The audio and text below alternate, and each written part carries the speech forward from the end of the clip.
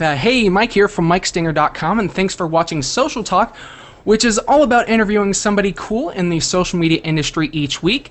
This week we have none other than my good friend Jeff Cryder, who is the uh, marketing director at Lebanon Ford, and all in all, he's a, well, I guess in my opinion, social media rock star. Uh, of course, he doesn't call himself a rock star, but I think he is. So, anyways, how's it going, Jeff? Pretty good. It's uh, I've been told many things, but cool has not been one of them. So I appreciate the compliment. Uh, that, that's that's a lie. I'm sure you've been called cool. Uh, but yeah, I'm, I'm really glad to have you on kind of as the first installment of, of the new social talk. And like me and you, we've had lunch together a number of times, which we need to have lunch uh, again sometime soon.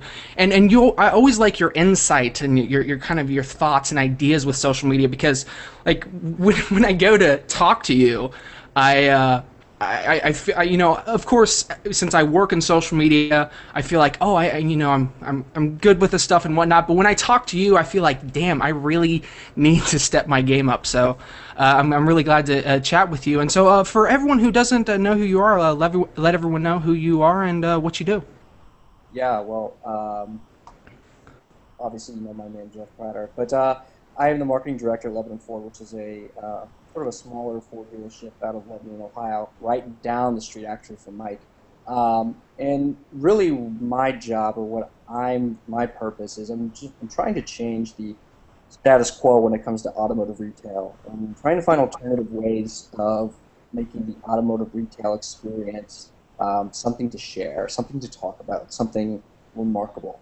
Um, so a lot of things that I'm coming from, a lot of the places that I pull my ideas from, really stem from taking a look at the automotive retail space and the uh, retail space in general, and how can we create a remarkable experience uh, at our dealership. And uh, as a result of some of those efforts, um, I've definitely kind of uh, spawned a lot of uh, thoughts when it comes to social and marketing and, and, and tying those things together.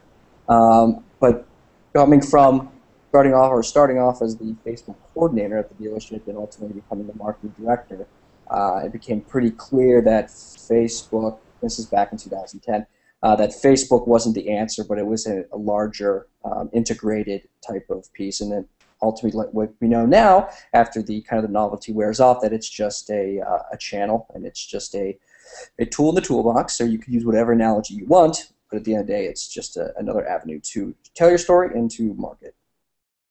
Awesome, and and yeah, we we've talked quite a bit about uh, how how well social media has done for for Lebanon Ford itself, and and I mean you shared some stats with me, and I don't know if you want to share the stats publicly, but you shared how your sales have grown, and how a lot of stuff ha- has really grown, thing, and, and, with social media really being a, a big driving factor of everything.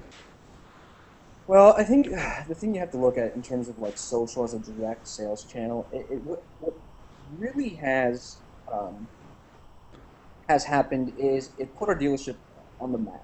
So, in terms of social as a direct sales channel, I'd say, yeah, maybe we have sold a couple. I'd say maybe a handful. Um, but what's really happened is the building of awareness and consideration and putting Lebanon Ford on the map in terms of acquiring partnerships, uh, strategic partnerships with not just Ford at some levels, but vendors within the industry who help us test product, get our hands on product um, that uh, would benefit from um, some of our other marketing initiatives. So what was interesting, uh, what I tell the story of, we did a drive one for a week uh, campaign. Um, this is sort of kind of what got us well known uh, in the automotive retail space. Was we took a look at what Ford was doing at the national and the global level, and we thought, how can we synergize some of those initiatives, and how do we localize um, those initiatives as well? So at the time, they had just got off doing the Fiesta movement. And the Fiesta movement was a um, a campaign that it was helped build awareness of the, the new 2010 Fiesta that was um, all new. It was coming back. Um, it had been in Europe, but is now coming back to the States. And um, we decided to uh, create our own campaign very similar to that called Drive One for a Week. And that campaign um, essentially was trying to find area influencers, influencers um, through uh, channels at the time. Again, this is 2010, such as Twellow um, and other various uh, sites, because our goal was to find those innovators and early adopters. So if we kind of follow the law of diffusion in some sense, you've got to target those um, innovators, early adopters, to get um, through the bell curve and ultimately you know, you get market penetration, and for us, it was Ford's product has changed. The Lebanon Ford brand is starting to change. So how do we get that out there in a very cost-effective and and, and just overall um, efficient way? So we found these influencers. We put them in in lists, uh, some of the tactical items, and we began following them. And then, you know, put it lightly, started building relationships, or like a game of double dutch. Found the opening, jumped into the conversation started to build a real human relationship with these people, um, some good relationships. And we, um, when we felt the relationship was, was strong enough, we'd invite them to come onto the lot and test pick any vehicle they wanted to test drive for a week. And uh, we didn't tell them what to do. Uh, we had a couple guidelines, such as a 250 mile rule, couldn't cross state lines, and obviously no drinking and driving, obvious some obvious ones. Um, but we just said go, like go experience the product, go have a good time, and these these individuals would go off and, and, and share about the vehicle, um, share post pictures, the whole bit. They'd create content, and the interesting part was they'd start to you know build that conversation not just with ourselves, but with Ford Motor Company and obviously their friends, or their network, uh, friends, family, and network. Um, so that was interesting in the fact that we started to merge that product with the Lebanon Ford brand, and then Ford and Scott Monty started getting in and kind of helping to promote that and, and kind of fed into those conversations, which was fantastic. Um, and then also from an SEO perspective, um, they would blog or create content on their websites, um, link back to us. So it was also an, an initiative to help in terms of white hat, like good pure SEO efforts of creating content, uh, creating like getting shareable links um, that. We're, we're, we're still live. Go ahead. Uh, sorry about that. Popped up on another screen there. Uh, create shareable shareable links um, back to our site. So it was an SEO initiative as well that worked uh, really well. So um, after these people drove their vehicle for a week, they came back uh, to the or we picked the vehicle up from them and, and they referred a friend. So we helped build that network across the channels. Now, before I go too long with this, I can tend to go long-winded. Um, the problem we ran into with that initiative was um, sustainability and scalability. We couldn't scale it. Scale and sustainability. Um, so, for instance, I was really the point of contact for those people. So if we had 500 drivers between 2010 and today, how would my how would I be able to maintain that relationship with those people, a quality relationship with those people, um, just using social channels? Obviously, they were here locally. I wouldn't be able to invite all of them to lunch all of the time. The quality of relationship would vary, so then you have a quality problem. And because the average buy cycle is between you know two to three years, they weren't necessarily experiencing the everything we had to offer from that retail experience. It wasn't like they could just go out and buy something and then keep buying it, or you know they didn't necessarily have that product in their hands at all times to reinforce that brand messaging. Nor as were we as an organization outside of what we were doing socially, reinforcing those types of messages and those beliefs um, and those that type of creative across other brand mediums or other medium media. Um, so what we what we had was like this isolated initiative that lasted a week, a week that we couldn't scale, we couldn't sustain because the organization wasn't built for this type of initiative. And it made me realize um, that if we continue doing these things, why we got a lot of traction, why we got a lot of, uh, say, exposure, I mean, unbelievable. Um, the, the, at the end, there was an experience gap. So those individuals experiencing those things and thinking innovative would come to the dealership and get a different experience, one that they weren't expecting. And that's when you have a problem, especially not just in product, but uh, uh, in, in the retail environment, that becomes an issue. So the focus is really started to turn in-house of how do we build an organization, how do we shape an organization to sustain those types of initiatives. Um, and being a smaller dealership, that one that doesn't necessarily have a lot of budget when it comes to marketing, we need these types of channels to facilitate communication and, and essentially marketing messaging um, to, to help us grow. So, um, so the initiatives been going on in, throughout the dealership have been how do we how do we shape a message? What is our why? What is our why? What is our purpose? And how do we shape language? How do we shape initiatives or process procedures to reinforce that why? And then what do we do to fulfill that why? Um, so those are the exercises going through the dealership. And um, anyone who kind of knows this is it starts with people. And if it starts with people, it starts with the hiring process. So you've got to revamp a lot of these, um, the way we've been doing things, the types of people we've been looking for, um, who do we want on the bus, to ensure that when we do these types of campaigns, they're in line with it from a communication standpoint, it's talk the talk, uh, and that experience gap is no longer there.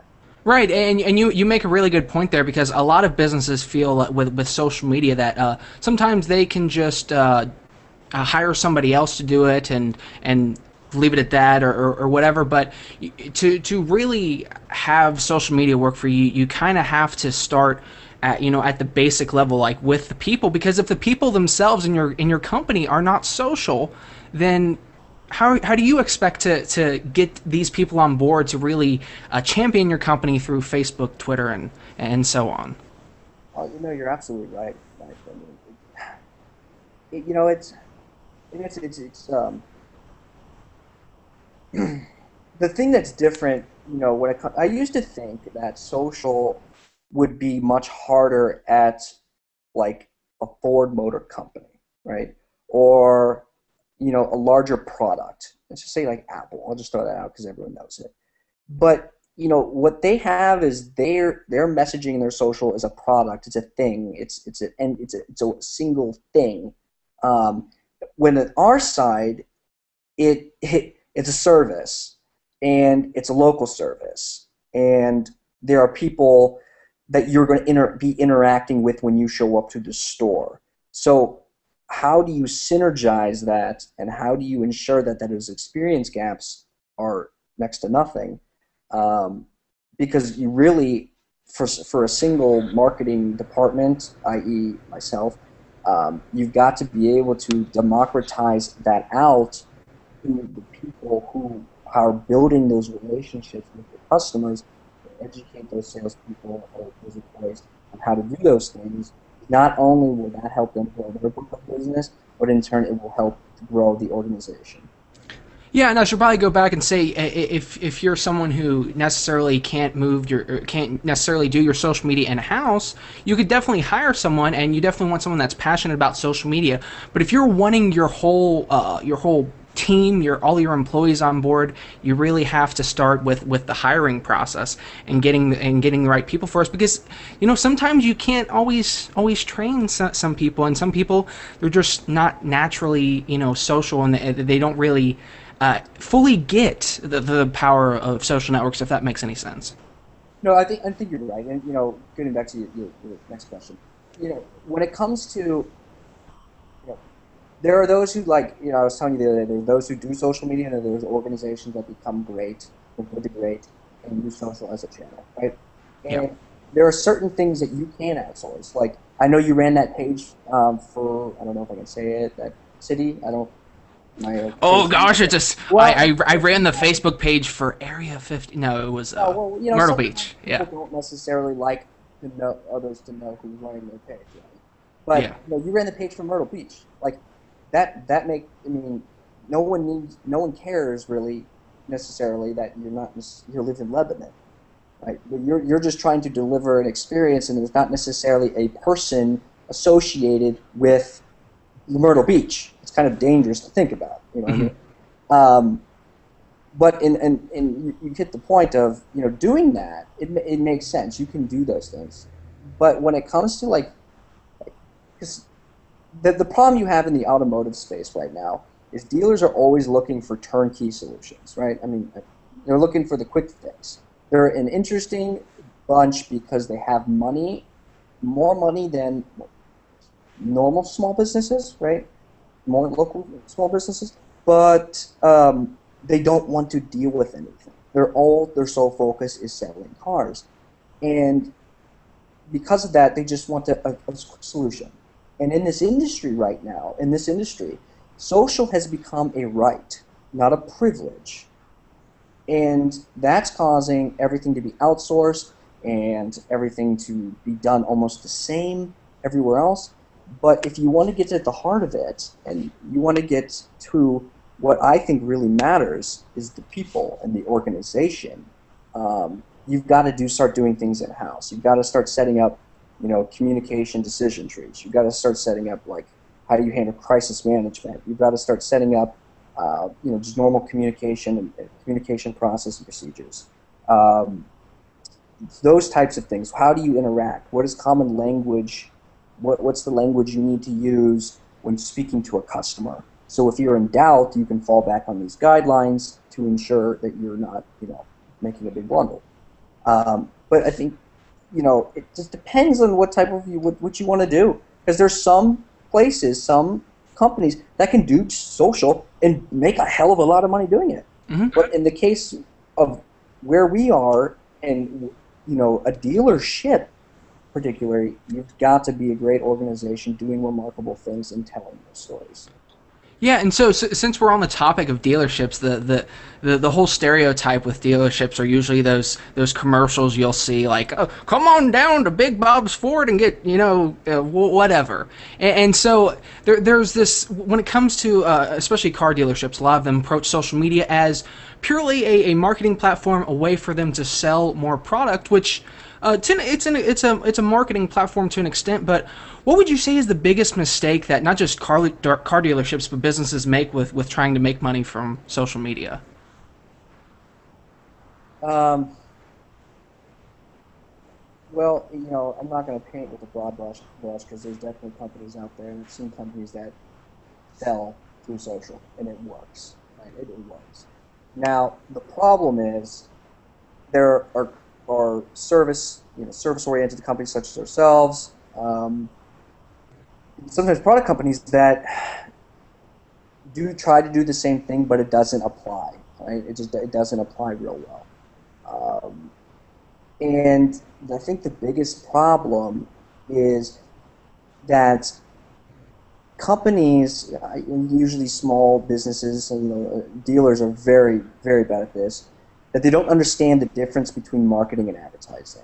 They don't understand that marketing or advertising is just a subset of marketing, and that there's other things out there other than just pushing a message, just pushing a message. And um, you know, for us, you know, we our transactions, you know, happen at the store. You know, we don't necessarily sell a lot online. So when we are like clicking through to something to learn on something and make that purchase, it doesn't happen that impulsive business, that impulsive transaction. But what we try to do is just build awareness and consideration for our brand, and and be and try to be consistent with that over a period of time to stay forefront and to align ourselves with people with similar belief systems. Um, that when they are in that buying cycle or that close that down the funnel, um, they consider us for that transaction. Um, so when it comes to selling on Facebook, that can be done. I've seen it, but for us in particularly, it just it doesn't it doesn't work. Yeah, and I, I think too it depends on, on how you're you're selling something. Like if you're just saying, you know, buy, uh, the, you know, special discounts, go to this link, whatever. That might not work so well. But but selling an experience. So for example, you guys at Lebanon Ford, you have my tech team, which is really cool, and there's kind of a, an experience behind it. So so kind of tell people a little bit about that and, and how that works because it, it's really different from uh, pretty much every other car dealership that I know of. Yeah. So Okay, so before I get into that, I think I want to. What you had said beforehand is you have to use those channels to differentiate yourself, right, and to be a resource. and to, I'd say, sell through being a resource. I use the word lightly, but to build consideration to being a resource. So something that's unique to our dealership, um, that's exclusive to our dealership, um, is a service that we call My Tech Team.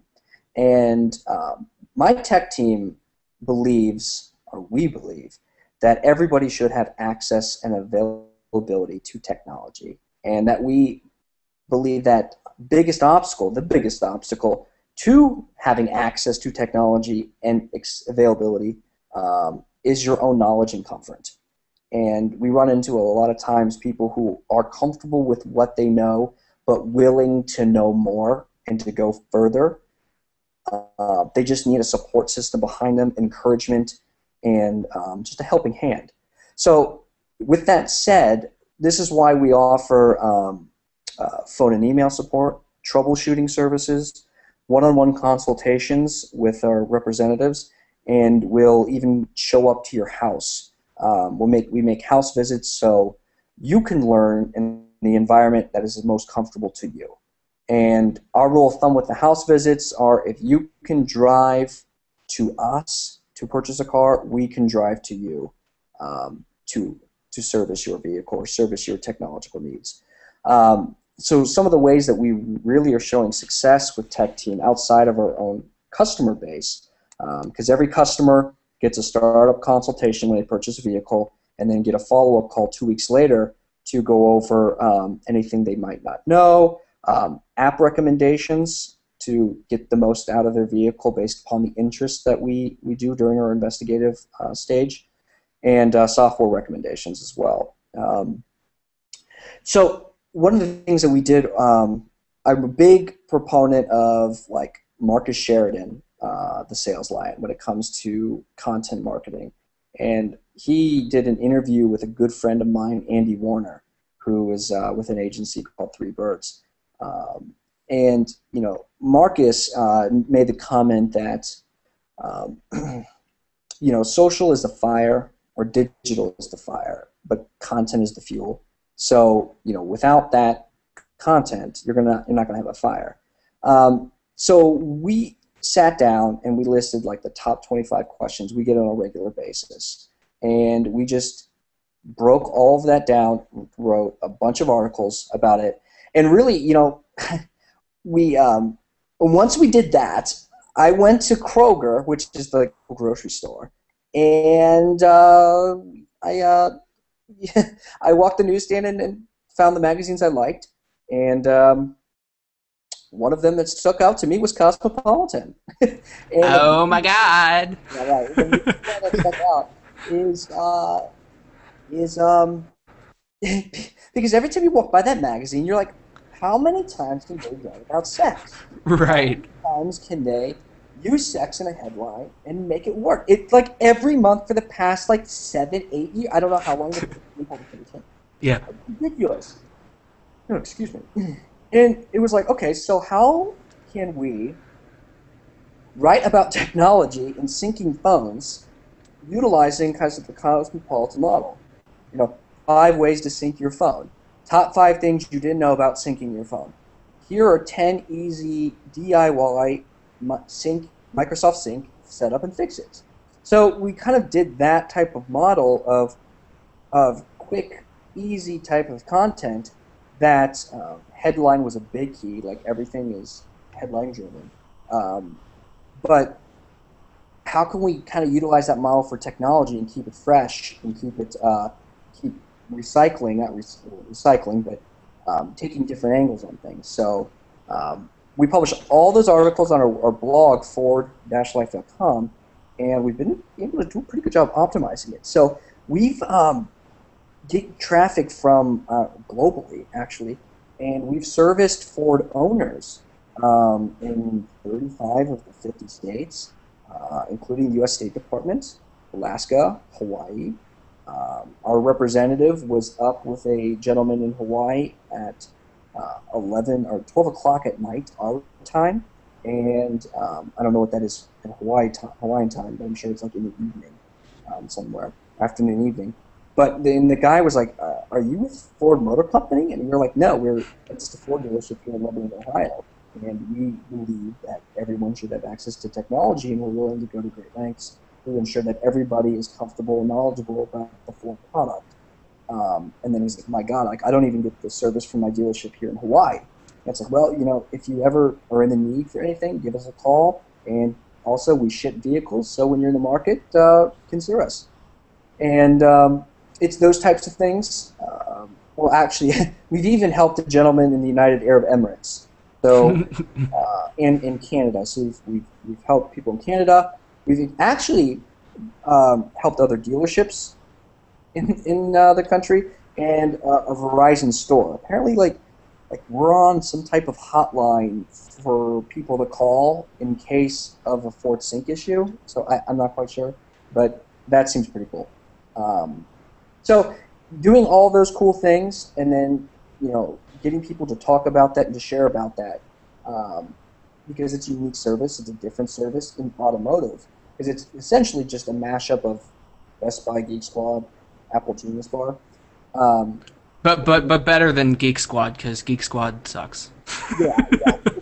like just yeah you know house visits and that type of stuff um, but it's really neat. And not only have like our customers taken notice, which has been huge because it's really the tip of the customer service here, but like Ford Motor Company's taken notice. Um, yeah, you you even uh, uh, oh, probably I, I I don't I don't want to butcher the, the time when you, when you did it, but you actually went up to uh, to Ford uh, Motor Company headquarters and talked with Scott Monty, who actually heads up the the whole social media for, for Ford. Well, yeah, we did that actually a couple years a couple years ago. Actually, yeah. the tech team. The tech team also kind of helped put us on the map for Ford when it came to like going further, if you want to use their like slogan um, of doing different things and putting the customer first. Because at the end of the day, we see ourselves as a service company with product offerings, and our job is to build and maintain relationships. Selling and servicing cars is a result of those relationships.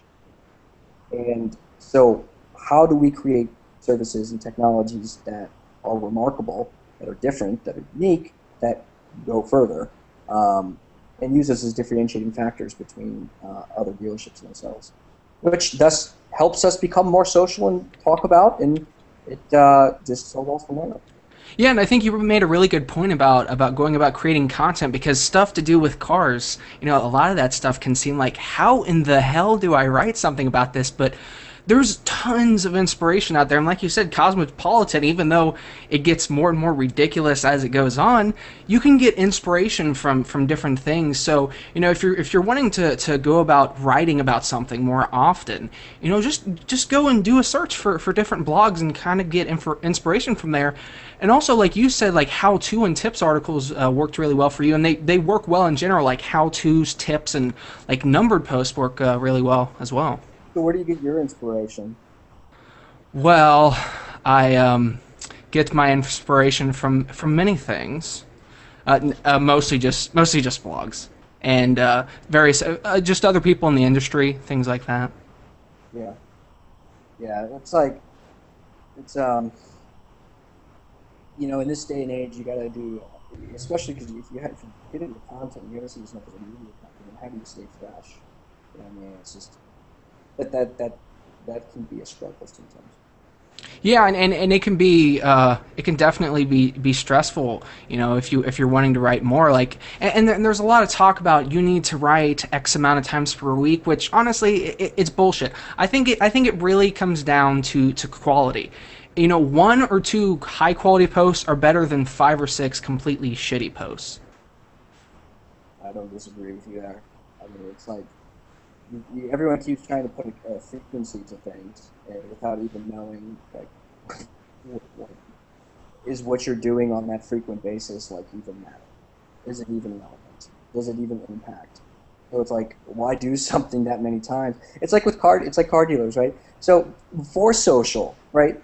Really, really, car dealers really just know how to advertise, right? So what, what social has brought in, which is interesting, is the fact that um, uh, your experience at a car dealership, Mike, and your branding of a car dealership is really your experience with that salesperson.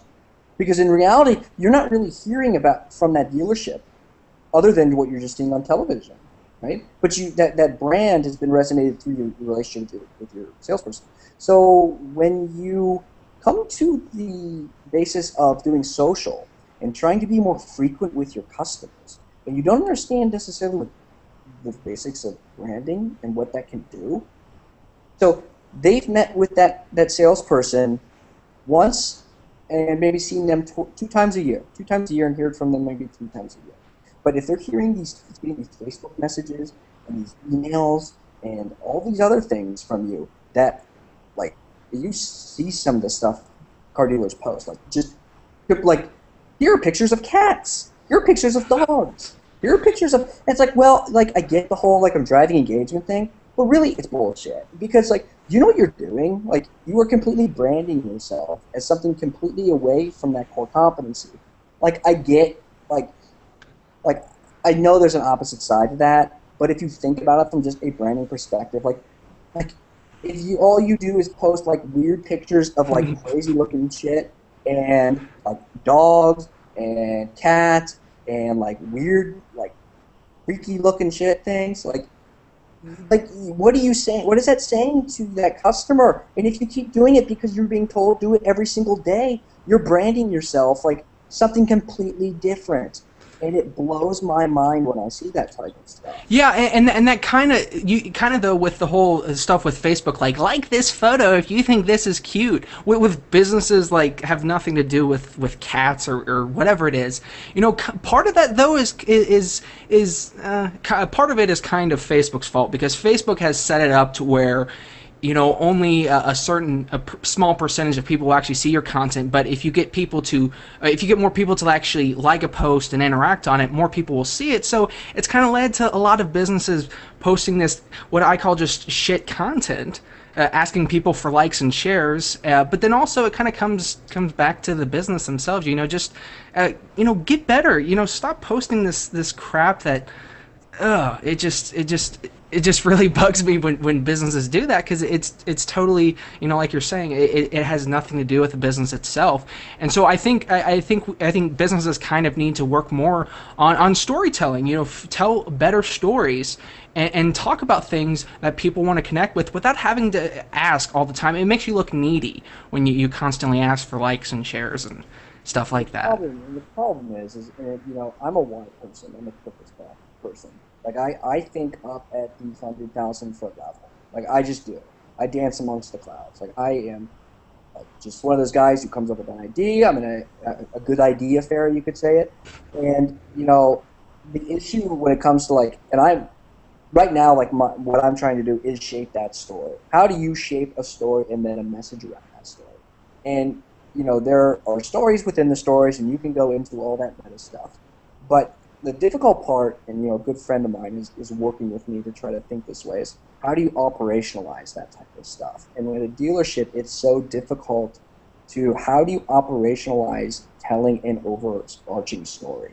And um, and that's difficult. I mean, that's difficult. And like like I said, there, there can be stories within the stories of like sharing a story of you know we uh, just we sponsored a huge event last night with the University of Cincinnati to help fight breast cancer and there was a woman amongst us uh, who is a wife of one of our technicians, fought breast cancer and uh, overcame it, survivor, and she's just now received. Um, she just now got. Uh, I don't say diagnosed, but we say? Relapse? Not relapse, but remission, right?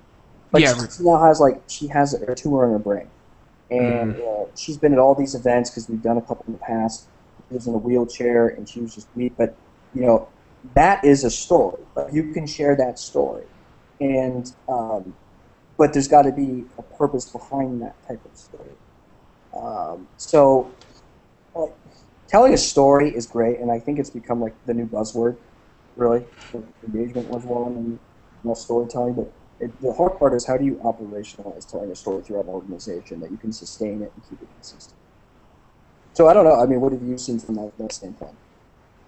Yeah, I, I think I, I think uh, I think you're probably right about being a buzzword, but just about there's all sorts of different words that are uh, buzzwords with social media. It seems like a new one comes out every once in a while. Like like for a while, engage was the big buzzword and whatever.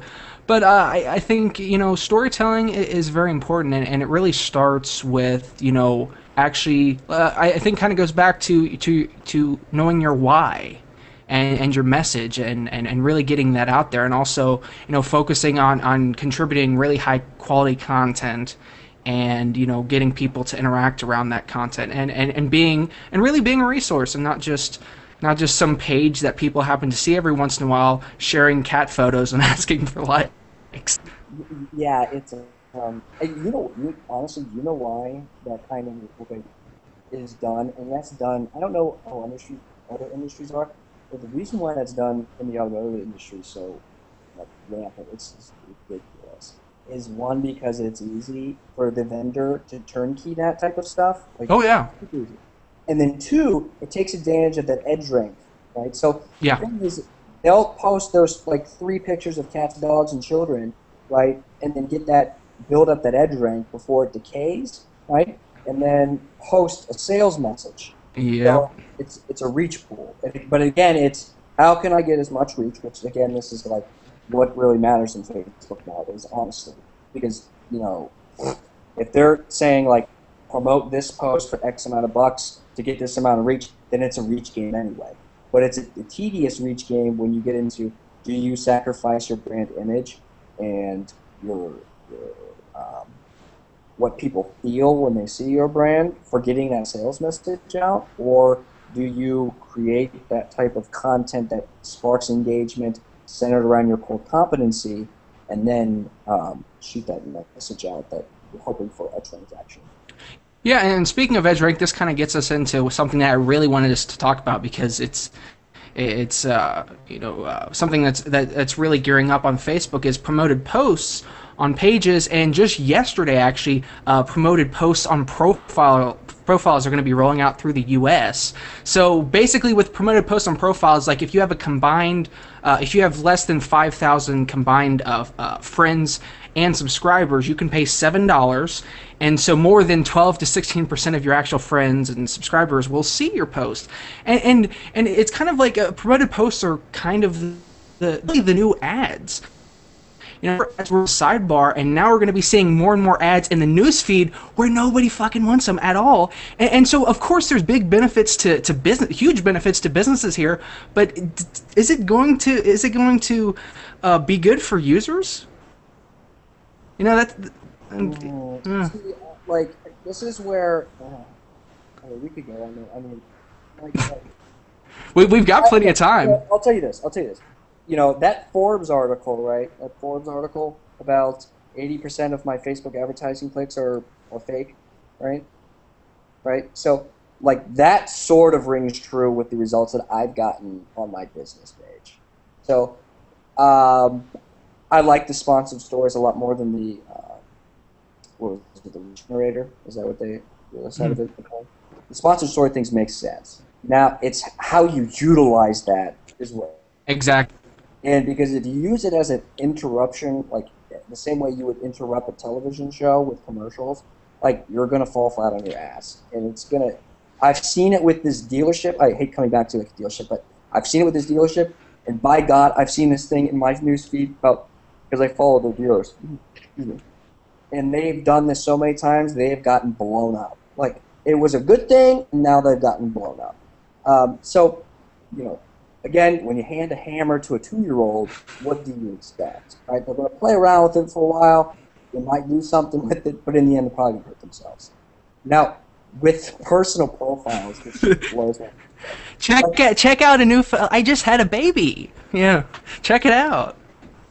It's like we've gotten to the point as a society where we are now, like, paying for social status. And now you can like we've always been paying for social status when we buy like fashion and stuff, but this is like a direct transaction that like I am paying to be heard more. Like what the yeah. hell? Like I equate that, and I was like, huge. I did this like, and I don't for a minute.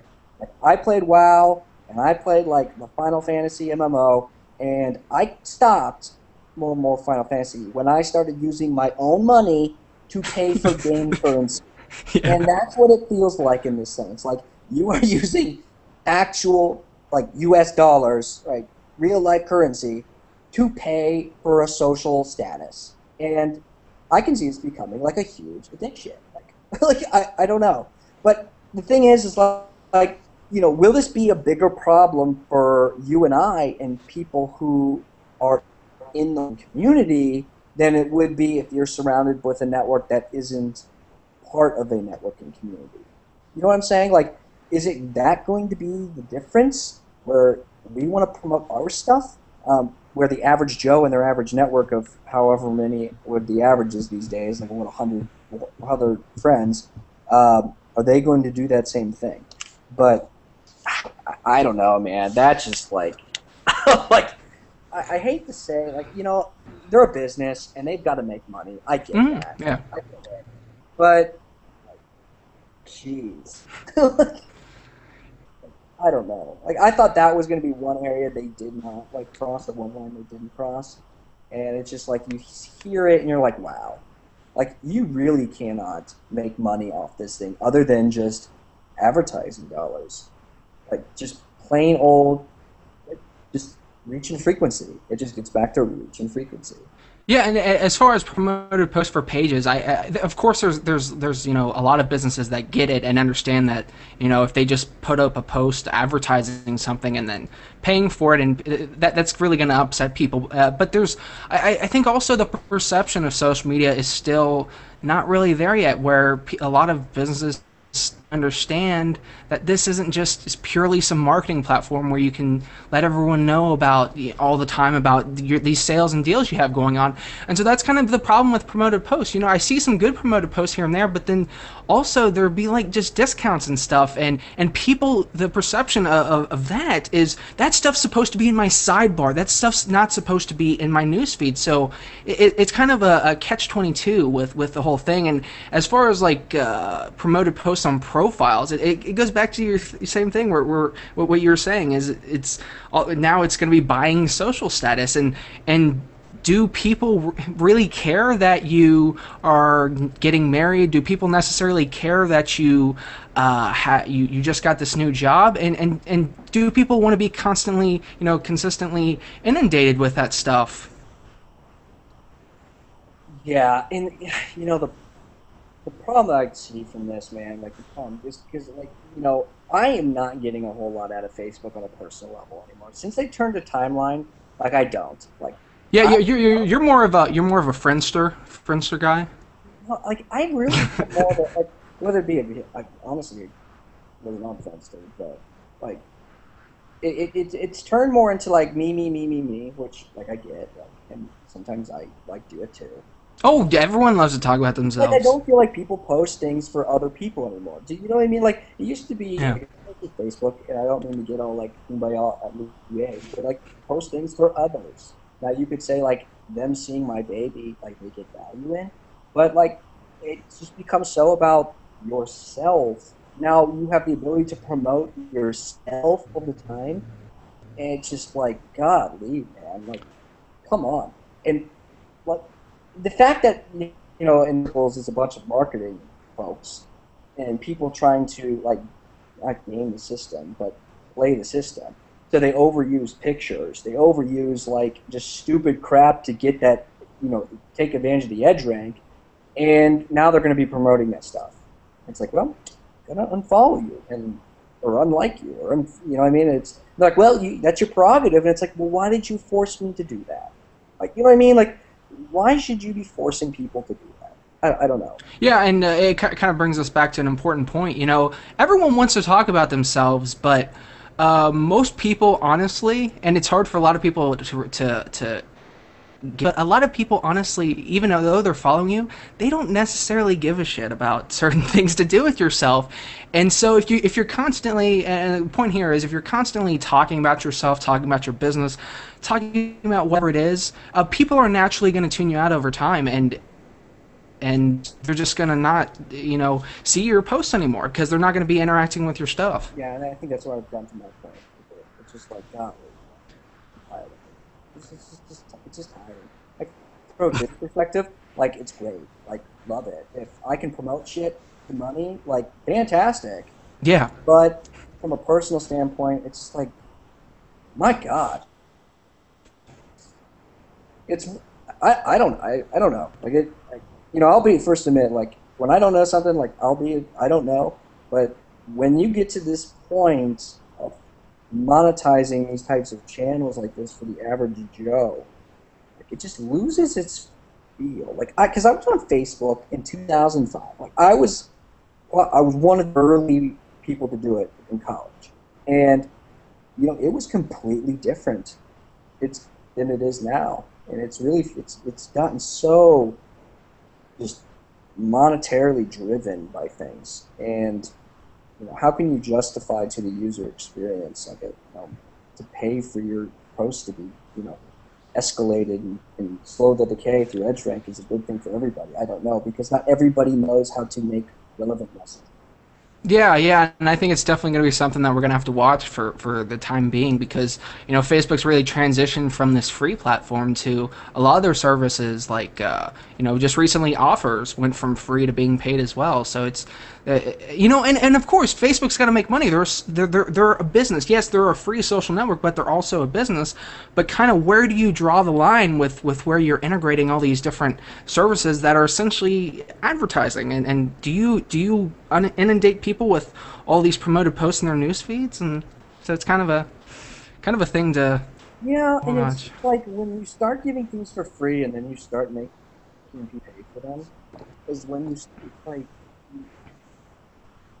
it, it, you get for a user, it's like, well, does this really matter to me? Like, do I really want to be spending this type of money? now, granted, like it's still free to use Facebook, but you, know, how much are they going to try to like monetize from from a from a you pay to use this, you pay to use that, you pay to use this. Um, I'm not sure. I'm, I'm not sure. Um, but what was that? What was I going to say about that? I had a complete brain fart. Um, I'm. Uh, it was probably something really brilliant, and now you're gonna you're gonna forget it forever. So we're gonna just move on, and so I'm not sitting here like thinking like, like a. Well, yeah, I'm kind of want to transition away from this because we are getting kind of close to to an hour on here, but I want to talk to you like a little bit more about like SEO. So, you know, with, with, Google and Google Plus, we've really seen you know the transition from you know just regular organic content being ranked in the search engine, and with Search Plus Your World now there's Google Plus results in there. So, you know, kind of uh, from from an SEO standpoint, where do you see like Google Plus and, and the overall picture and, and the importance of it? Mm. Uh, well, from a local business standpoint, it's huge um, because it's merged with places pages. So that's actually a big one. Um, now the problem um, from a from a SEO like content perspective is like you know they're definitely looking at from a social signal point of view like absolutely and getting that content posted on there and, and done the right way is important but like for us like we don't we don't necessarily get enough of those social signals in terms of quantity of of um, like plus ones if we're talking specifically about Google Plus to warrant any different change in the search result. Now, the, the difference can be you get those customers to plus one stuff to uh, and you know from our analytics like I would say I think it's like 15% of traffic to our site is signed into Google. So I mean, yeah, it's a it's a big it's like a it's a pretty big number signed into Google. So you know, their results are, or have been skewed or being skewed through what their history is and, and yeah. the network is. So you know, taking advantage of that from the sense of we do a lot of repeat and referral business, and um, that type of stuff helps when if we can get that content out to the sales team, they say that sell that share that stuff socially. Those people, you know, post on that type of stuff, um, and then you kind of refer someone. They see that you like this, and it kind of all feeds obviously together. But for us, it's Uh, it's going to be bigger. I absolutely think it's going to be bigger. But when it comes to SEO in Google Plus specifically, um, I'm aware of it, I'm looking into it, but I've kind of put it into that spectator column for us because we, we don't do, we're not, we don't have the reach, we don't have that visibility to really have that impact a lot of the stuff that we do. Yeah, and I think I think a lot of it too, you know, comes back to uh, is your audience on Google Plus? Like you, you, for example, a while back, you told me how you figured out if Lebanon Ford's customer base was actually used Google, Google Plus and and everything. And and while while Google Plus is great, you know, over 400 million users, 100 million months, whatever it is now, you know, it's it's great and all. But just because there's all these people here doesn't necessarily mean your audience is going to be here. And I think that's a big, big thing to take away because there's a lot of people who, who I guess, I, I mean, I guess you could call them Google Plus fanboys that you know talk about Google Plus and, and how amazing it is, and especially uh, social media consultants and, and whoever. But they forget to realize that not everyone's audience is here, and just because it's it's great for other people doesn't mean it'll necessarily be great for you. And also from an, from an SEO standpoint. No, you're absolutely right. And and uh, we the way we did it was uh, pretty interesting. to, we rigged it, um, but the interesting thing is like when it, like the problem I have with the whole Google Plus thing is the fact that like we got uh, we started getting we had a review process down. We were getting good Google reviews. Then Google Plus got implemented, and then we gotten zero reviews since it got instituted. Yeah. because people have to have a Google Plus profile, but the majority of people don't care. Because at the end of the day, social network is about the people. And if your friends and families aren't on that platform, why the hell would you sign up? Hey, yeah. To the normal average Joe. So that's the problem I have with that, and they've got a real issue with that. Um, but you know, getting back to the whole SEO thing, I think if you have the reach and you you're creating good content, you've got that reach, and you're maybe a bigger brand, or even like you do something good as a small business and get that spike, yeah, that can be absolutely huge, absolutely. But it's going to take those things to really sway the giant. Yeah, and, and also when it comes to, I, I see a lot of people that using Google Plus more, especially businesses, but they're using it specifically because it can be good for SEO. They're not using it to actually build relationships with people. They're just using it to spam their shit out there. And that's the totally wrong approach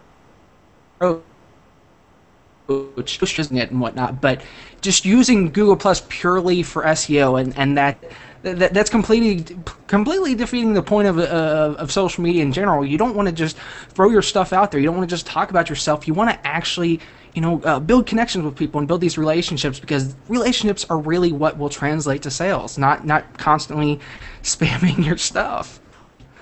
Yeah, but see, this is like the other side of the coin. Like, there's like I agree with you on that point. But like, when it comes to like the business aspect of it, like you want to try to get that brand out there as much as possible and be in front of as many people as possible. And it just again becomes like a reaching frequency. And yeah, like I think because the business side of things, this is kind of where, where especially in my industry, I, I hate to keep using it, but like we've been told, build relationships, build relationships, build relationships, build relationships, engage, engage, engage, engage, engage. And it hasn't translated to anything. It hasn't done anything. And now it's like, okay, well, this hippie new age, which I hate to put in that category, but that's the way it's being viewed, it's not really working, so we're going to get back to business as usual. But I, there's a fine line there. I mean, I agree with you. You've got to build those relationships. You've got to, you have to engage, as cliche as But, you know, there's going to be trying to game that system a little bit and trying to uh, expand that system. And, you know, at the end of the day, just get your stuff found yeah, and, and you make a good point about just telling people to build relationships and engage. It's it's it's not that simple, you know. I I think a lot of it has to do with how well you can communicate yourself. There's a lot of people that completely suck at communication. They, they don't know how to talk to people, and and you know to to actually be able to properly and effectively communicate with people, you know, it's the same on social networks as it is in real life. And some people aren't good at communicating in real life, so why would they be able to communicate well in, in social networks? It's kind of it kind of goes hand in hand. Yeah, yeah. It's it's a, it's going to be it's a, it's a healthy mix, but you know businesses are starting to they've it's been such on the far stream of like let's hold hands and engage. and now it's starting to swing backwards to like business as usual type of things. And the, and the people who are getting it right are people who are are doing the right things, are understand understand their why, creating content shaped around that why um, that makes sense, and they're getting the quantity and they're, they're maintaining the quality. So all the right things are happening, and um, you know, and that's how you'll be truly great. But yeah, you can game anything, and you, that's what you're starting to see. Yeah, and uh, I, I definitely It's like when agree. show up to the party, it ruins everything. Like no joke. Like, like when marketers show up, like, okay, how do we monetize this? How do we get people into this? Like, it ruins the whole flow of the game. And it's like no joke. It really is no joke. And, and you saw it with MySpace, uh, everything. But uh, when it comes, but like marketers come in, they're slow to the table. They get in, they do their thing, and then they squelch it, they squash it, and then people go on to another route to find something new, and then marketers come behind them, and it's just like this like thing of uh, it's just it's like insanity. Yeah, yeah. Uh, That it, it's it's funny you mention that because I mean it, it it is the truth, and and a lot of people don't realize that you don't you know to do well with social media you don't have to you know to, to, to do well social media uh, as far as like you know building an audience and stuff is a lot of people are using these traditional principles with with building an audience on, online with social media and they, they don't understand that uh, this is a different this is a different avenue this is a different platform and you've got to apply different things to it and and you don't you and the thing is you don't have to constantly you know post about specials and deals. You don't have to constantly you know spam people about the stuff. You can build an audience but it just takes time and you've got to you know learn these different approaches to doing it and and not go by the you know not just uh, kind of have the the uh, advertising mentality of but you always have to advertise because that's just not going to work. Yeah, no, I, I completely agree with you in that sense. Um, so, what do you think in terms of like, uh, in terms of like, when you tell a business or you're consulting for a company, you know, I, I found this funny comic the other day, and it was like, um, if they, if they haven't liked us, they haven't plus one us, they haven't followed us, but I, I bet they'll pin us. yeah. It, it was uh it's like you get the same thing here. It's like okay now you gotta be on this one. Now you gotta be on this one. Now you gotta be on this one. Now you gotta be on this one. And there's so much breadth but there's no depth to any of this stuff. And uh, i chuckle at that type of stuff. And so how do you kind of uh, determine whether or not a company should be on this channel or that channel? How do you Well- prioritize that? Well, I mean, it, it's it all comes back to your audience.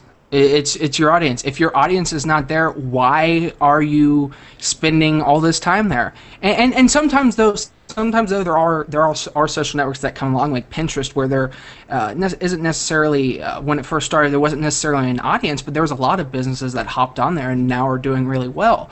But uh, it, it comes back to your audience. It, it, you need to figure out if your audience is there and and and and you know being able to, to actually find them and you know communicate with them. Because if they're if they're not there, it, it's really wasting your time. It's kind of like putting an ad. Say you say you sell I don't know cupcakes or, or whatever. Putting an ad in like a a porn magazine. You know it, it it's kind of the wrong place you know you you've, you've got to put yourself in front of the right people and if the right people aren't there then you need to be investing time elsewhere where where those people are. So message to cupcake uh, bakeries yes yes cupcake owners and and cu- i mean cupcake sellers and cake sellers do not post ads in playboy hustler or any of those. Just uh just a heads up.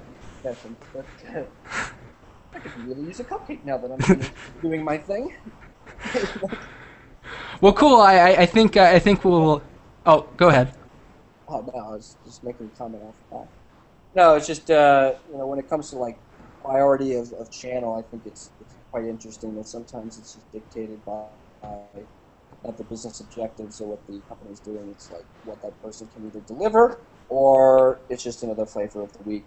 Say I can set you up on this thing and do it a little bit for you, but when it comes to like knowing how to use it from a strategic standpoint, or like and, bring it down to the tactical level, uh, like I'm not going to worry about that. Which is why I think you get a lot of that smoke and mirror of, oh, now you got to be on this one, but I just learned this one. Yeah, but you got to be on this one too, man. Like, come on, like you don't you want to be hip, right? You want to be cool. It's like, yeah, like I'll be on there. It's it's like it's like my God, like you gotta. It's we, we even had like Ford one time, like back in the day. Like we came in and you're like, we're here to set up your Facebook, Twitter, and Google profile. And I was like, well, we already have those, but like, are you going to train me?